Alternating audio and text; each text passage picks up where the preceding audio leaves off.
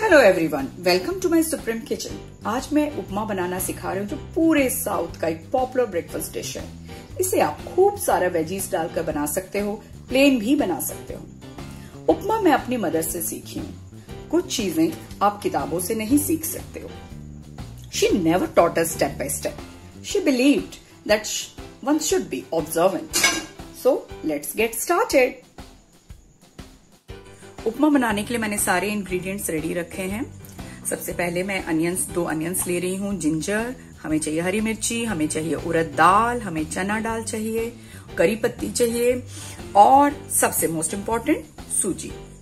तो मैं चार लोगों के लिए बनाने के हिसाब से आपको बताऊँगी। तो फिर I have taken like two big ये सो लेट मी चॉप इन दोनों अनियंस को मैं छोटे छोटे टुकड़ों में काट दूँगी, अदरक को भी छोटे छोटे टुकड़ों में काट दूँगी। और सबसे पहले हम अपने सूजी को हल्का फ्राई करते हैं। तो इसके लिए मुझे कढ़ाई बैठाना होगा। मैं कढ़ाई बैठाती हूँ और सूजी को हल्का फ्राई कर देती हूँ। तो मैं, कढ़ाई हमारा गर्म हो गया है। मैं एक जन के हिसाब से एक कप डाल रही हूँ। दो, तीन, इसको थोड़ा सा फुल कर देती हूँ। चार और इसको हम हल्का हल्का हल्का भून देंगे। कुछ लोग इसे बगैर भुने भी बनाते हैं। There are two ways actually same thing can be cooked like इसको एक तो हम हल्का भून के करते हैं, इसका अलग स्मेल आता है, अलग टेस्ट आता है। कुछ लोग बिल्कुल सूजी को नहीं भूनते हैं। बिल्कुल सीधा वो मतलब प्रोसेस में करते हैं और दे डोंट यू नो इसे जिस तरह से मैं अभी भून रही हूँ, वो नहीं भूनते हैं। आप उसे भी ट्राई कर सकते हैं, लेकिन हल्का भून लीजिए बेटर है।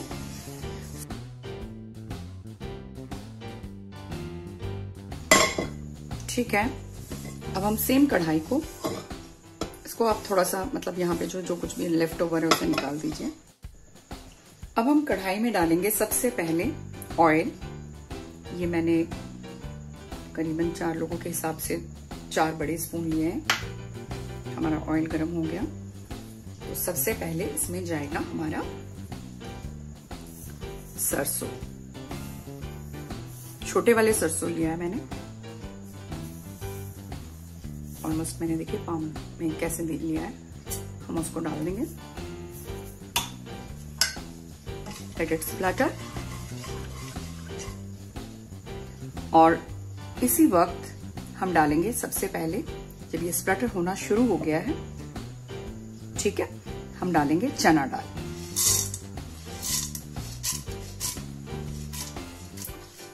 पहले चना डाल फिर डालेंगे हम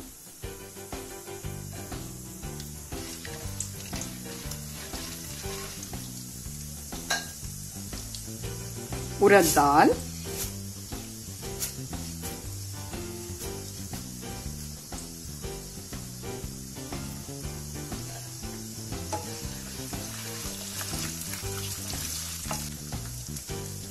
अब डालेंगे हम जीरा।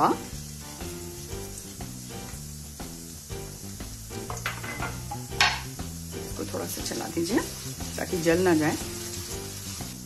अब जाएगा हमारा कटा हुआ जिंजर।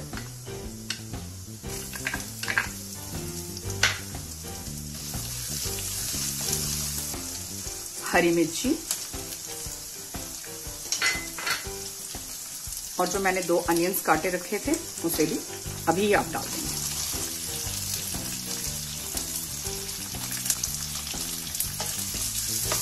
सब चलाइए जब तक कि हमारा जो अनियंस है, वो ट्रांसलूसेंट ना हो जाए, पिंक कलर का हो जाए, तब तक हम इसको थोड़ा सा तेल में चलाएँगे। इसी स्टेज पे मैं थोड़ा सा काजू डाल रही हूँ। ज़्यादा नहीं, थोड़ा सा काजू।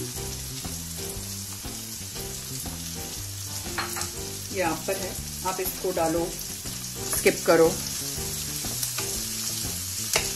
ये आपका चॉइस है, आपकी पसंद है। देखिए, अब हमारे अनियन गोल्डन एक पिंकिश कलर ले लिया है ट्रांसलूशन पिंकिश कलर अब हम इस पे डालेंगे ये। करी पत्ता। करी पत्ता के बगैर हमारा उपमा इनकम्प्लीट है। थोड़ा सा और ऐड करती हूँ।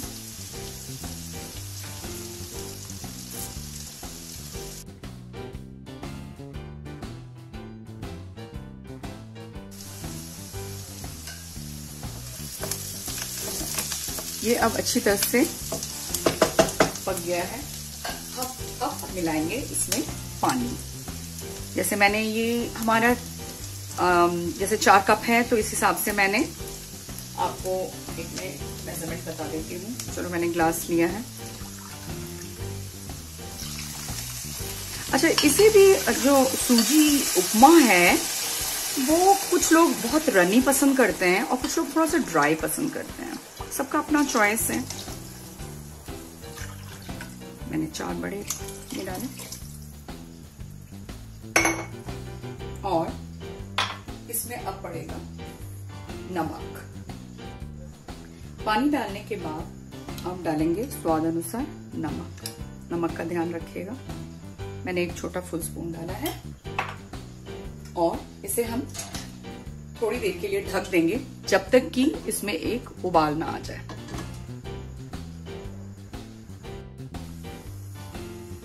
लेट्स चेक चार से पाँच मिनट हो गया।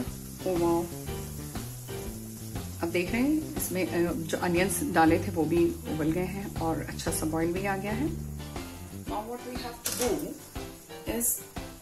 जो हमने फ्राई किए हुए जो सूजी था, उसको हम धीरे धीरे उसमें डालेंगे और हम उसको इस तरह से स्टर करेंगे धीरे धीरे जैसे लाइक जैसे हम हलवा बनाते हैं तो उसमें भी हम ऐसे ही करते हैं। You have to just continuously आपको स्टर करना है और उसको धीरे धीरे डालना है। So this is called balance you know पहला जब मैंने उपमा बनाया था वो मेरा डिजास्टर हो गया था क्योंकि मैंने एक साथ सारे सूजी पानी में डाल दिया और बड़े बड़े लम्ब उसमें आ गए। सो so, उसके बाद मैंने लर्न किया कि no no no it's the trick is to you have to continuously stir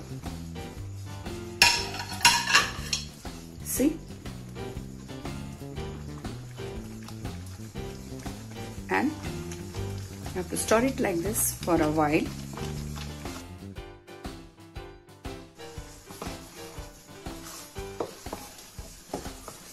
इस तरह से पानी भी सूख गया है और हम हम स्टर करते रहे तो देखिए कहीं भी हमारा लम्स नहीं हुआ है। सी है ना? और now what we have to do इस ऊपर से हमें डालना है घी। इससे एक अच्छा सा, अच्छी सी खुशबू आती है। मैंने घी डाला। Then again I have to mix it सब इसको इस तरह अच्छी तरह से मिक्स कर दीजिए। दिस इज़ रेडी बट ये आप अब आप क्या करोगे? थोड़ा सा सिंक कर दो। एंड जो ढक्कन है, थोड़ी देर के लिए और। बस दो तीन मिनट उसको इसी तरह से आप छोड़ दो सेम पे। Three minutes or four minutes max. Bus. This is done. Let me serve. Okay, this is ready. See? Wow. गर्मा गर्म उपमा जैसे तो आज मुझे मेरी मम्मा की उपमा की याद आ रही है और इसे आप इसके सांबर के साथ खाइए आप इसे नारियल की चटनी के साथ खाइए मैं इसको आलू की सब्ज़ी के साथ खाऊँगी जो मेरी मम्मा बनाया करती थी इट्स वेरी इजी और उसका रेसिपी मैं नेक्स्ट टाइम आपको सिखाऊँगी। Thank you everyone for such positive response हमें न्यू रेसिपीज़ के लिए रिक्वेस्ट आते रहते हैं। We promise you to come up to your expectations till then happy cooking bye